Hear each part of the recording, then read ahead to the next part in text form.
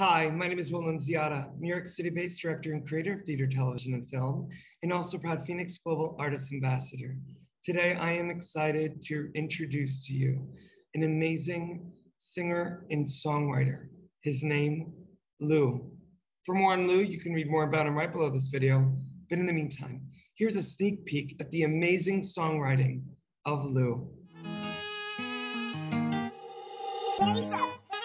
Yo. Man, a bad man from everywhere. Anyway. Man, we ain't going with him, but anyway. Thinking monster hut, Boy, boy, this my boy brother monster boss. Ayy, run up a bag today. Pussy me man my mom gon' move away. Ayy, ain't no faster way, so me and the bro split 50 way. Bumbo, Ayy, flat AK out, can pussy. violent hit like a titan. I'm risking my life for the fucking pay. I had to get in my bag today. You running me down, no fucking way. Ha! No fucking way, you running me down, no not today. I keep to myself, never needed no help. If you fucking with me, you might pass away. Better get out the fucking way, no homo, I got on their ass today. Ayy. Shit, I can get ass today. You pussy ass nigga, we not the same. He say a drill, I'm blowing my brain, huh? Lose my bro, not the same. Saw him drop, feel no pain. Not to me, not today. All I need is the girl on my lap, no Santa Claus. You switching the moods like man, pause. Put up a tight, I ain't worried about nada. Just get to the guap and run up a dollar. I got a dollar, then he got a dollar. We got some powder, we pushing the farther. We got some powder, we pushing it farther. Well, good morning, Lou. Good morning. How are you? I am good, my friend. We are both coming from New York City, two different boroughs, but I love the fact that the audience has got a little sneak peek at one of your original tunes. But Lou, I want to know where were you born and when did you realize that you had such a great talent for songwriting? I was born in um um north uh uh north northwest of Africa, like on the coast. I was born in Guinea, Conakry. Um, I didn't really get into songwriting. Well, I always liked music, but I didn't think I could do it till I got probably. Well, you know, when you're a kid, you always say you could, you, know, you always say you could do shit that you really can't do. So I was always telling people like, "Oh, I'm gonna be the world's greatest rapper. I'm gonna be the world's greatest da da da." Before I even made a song or whatever, but I didn't really start getting serious. Probably like 15, uh, probably 15, 14. I was like, "Oh, I probably could really do this." I was very bad, but um, I didn't start going to the studio. Um, that's when it started really like getting serious till I was 17.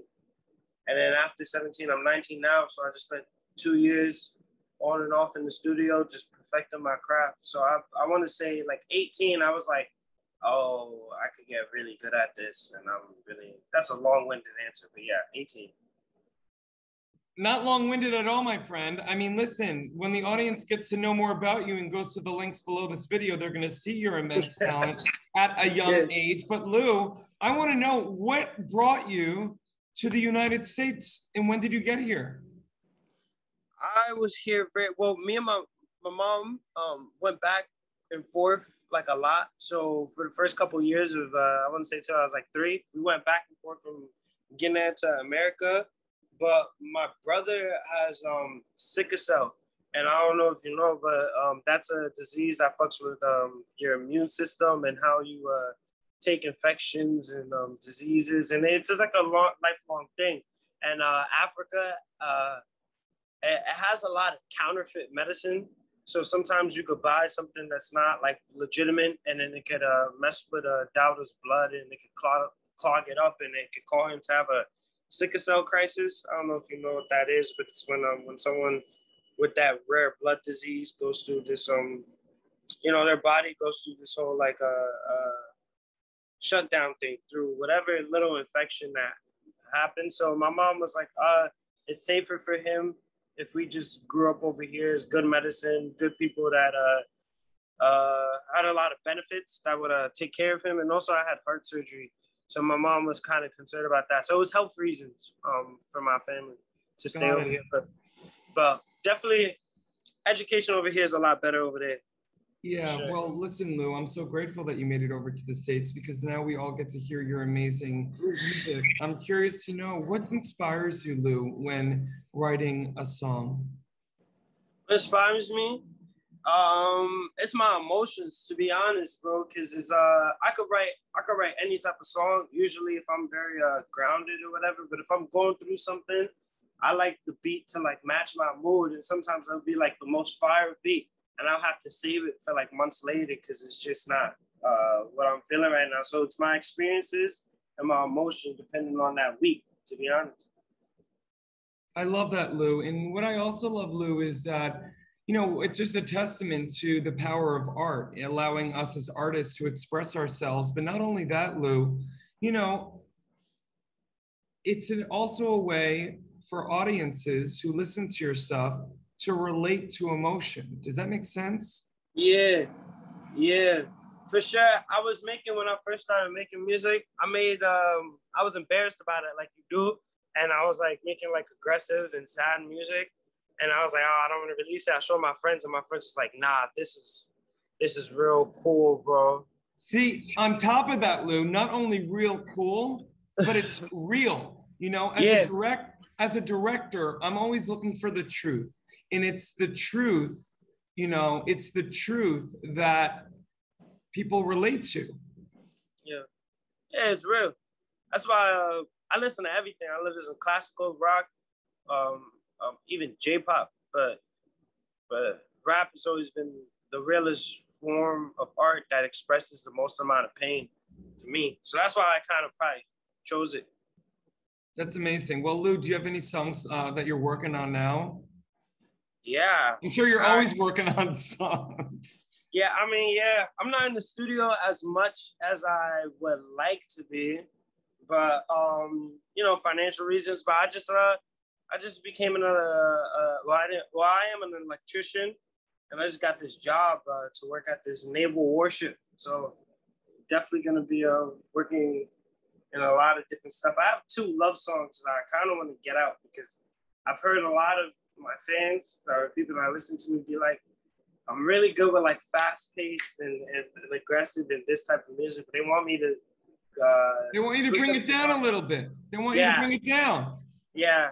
So I'm gonna, Yeah, I'm working on this love song that I think uh, people are gonna like.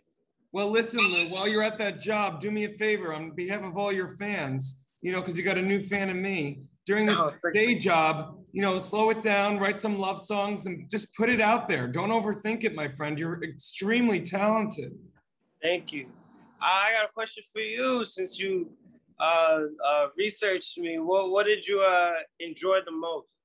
What I enjoy most about you, Lou, is that you have an unapologetic singular voice. But it's funny that you mentioned that you listen to other genres of music because when I listen to your stuff, I don't just hear rap.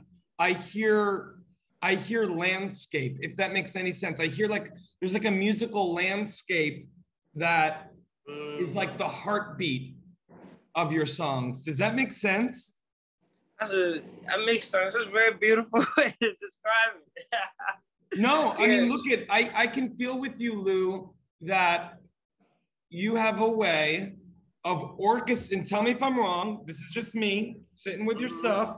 You have a way of somehow figuring out a musical beat, but also a musical texture and color to represent an emotion that may sometimes be hard to talk about. You literally sure. use your music and Yeah. lyrics as the language to express what is unexpressible. yeah, for sure, for sure, for sure. You want yeah. me to keep going, Lou? I mean, listen, if you want to turn this interview around, baby, I'm ready to talk about you. You didn't Nah, think I came here to play. I came here to play. Yeah. Listen, Oh, my oh, friend. oh, uh, Go, go, go. song. Oh, you got a question? Yeah, I have another question. Go, go. My fault. What? Do you have more questions for me? Whoa, whoa, but we gonna get to it. Go, let's go.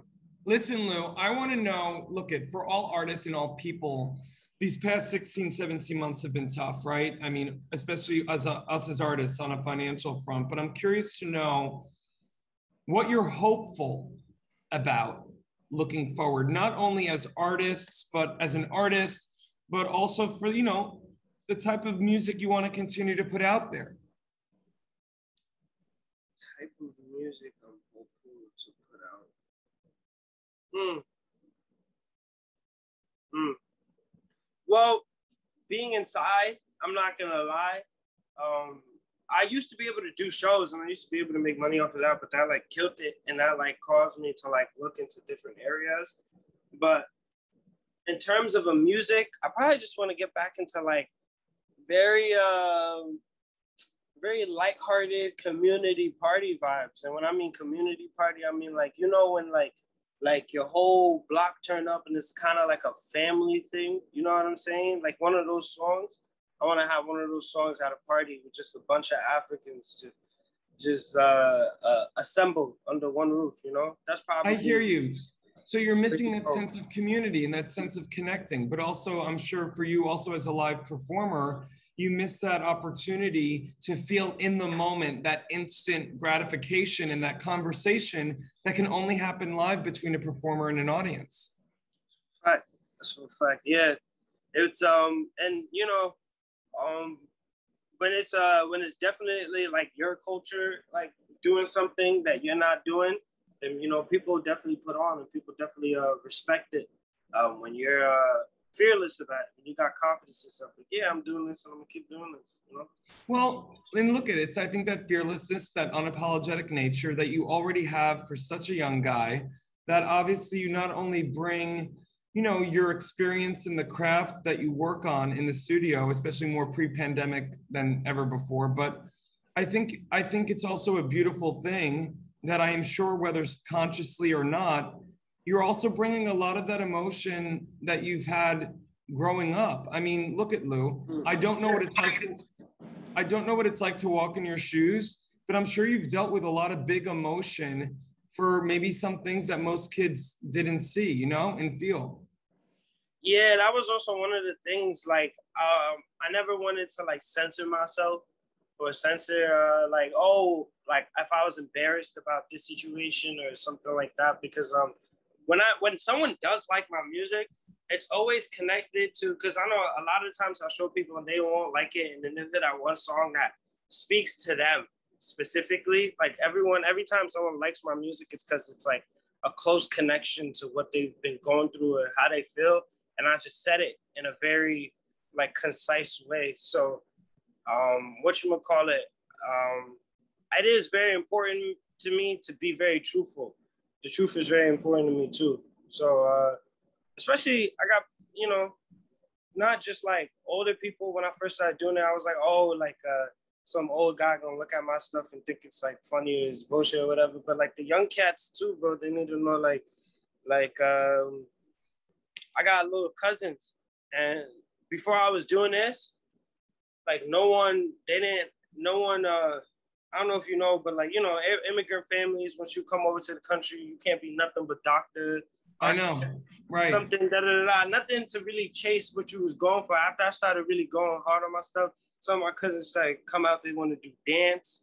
They want to dance now. Some of my cousin cousins come out. They want to act now. They start really and and the the the step between taking it from a dream to like you know a goal is they start treating it like a job. They start practicing like I do at home. Like, cause they'll see me be like, what are you doing?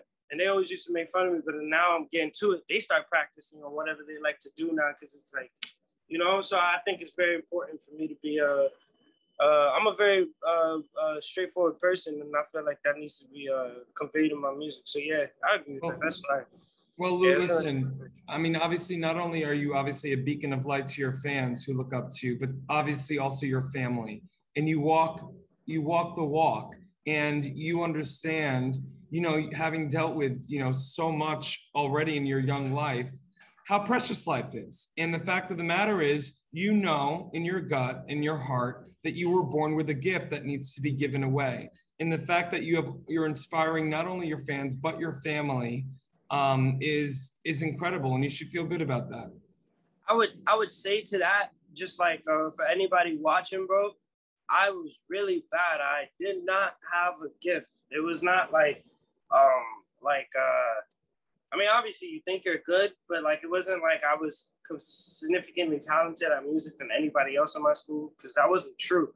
It was just a straight up fact that one, there was just two factors. I had an obsession with it. If you have an obsession to something, do that thing for the rest of your life because it's really like you're never gonna get tired of it. That's your obsession.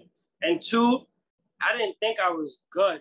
I think I could, I looked at the rappers of my generation, and I was a you know a rap fan, and I was like, and there was people my age, like 17 when I was 17, my age, making millions off of songs that don't mean anything.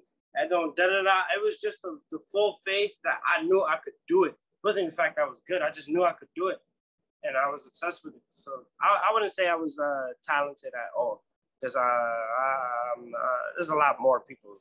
No, more I hear you, but also what you do that most people don't, even with a glimmer of talent, which you at the very least have and had, is the fact that you understood the craft it took and the work it yeah. took that you know so many kids in whatever industry but especially the music one we yeah we see them make millions and famous 16 17 18 but lou you know this you're in this for the long haul and you know that yeah. to be in for the long haul you gotta you gotta have a good foundation of craft and and uh it's a really inspiring thing and um you know listen i could talk to you forever my friend but yeah, um, i'm grateful uh to have had the time to speak with you today and i look forward to speaking yeah, with you soon. Me too, me too. It was a good conversation. I respect uh, you um, having me out here. In the digital age, artists and bands struggle to make a living. In fact, only a small number of artists can live off their craft. For the 98% of artists that don't have the luxury of being signed to a label, it's tough. But artists deserve to live off their art. Wherever you are around the world, appreciation of music does not change. FENIX brings bands and their fans together, whilst allowing bands to properly monetize their passion. The FENIX app will directly connect bands and fans with no need for middlemen. We're utilizing the blockchain to give the power back to the artist once and for all.